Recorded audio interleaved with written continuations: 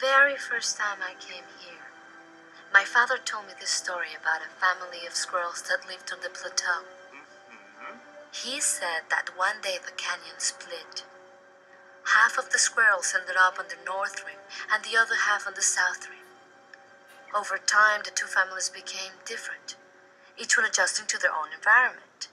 The ones to the north are dark, bushy tail, and have bigger ears. Ones to the south are leaner, meaner, and much prettier. And even though they look different and they act different, they are the exact same squirrel. They just grew up on different sides. And this canyon between them? Will they ever be able to cross it?